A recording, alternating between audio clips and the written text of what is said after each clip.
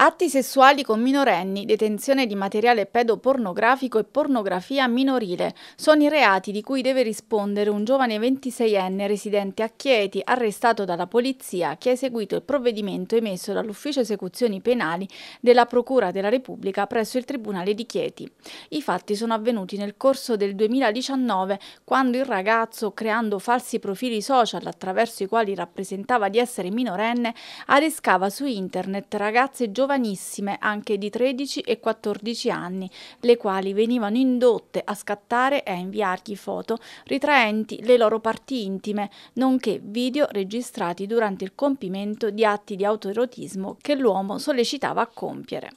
Le indagini coordinate dalla Procura distrettuale della Repubblica dell'Aquila ed esperite dal Centro Operativo per la Sicurezza Cibernetica, Polizia Postale e delle Comunicazioni di Pescara sono state avviate dopo la denuncia dei genitori di una delle giovani vittime. La polizia ha sequestrato anche il materiale pornografico detenuto dal 26enne che dopo l'arresto è stato condotto nel carcere di Chieti.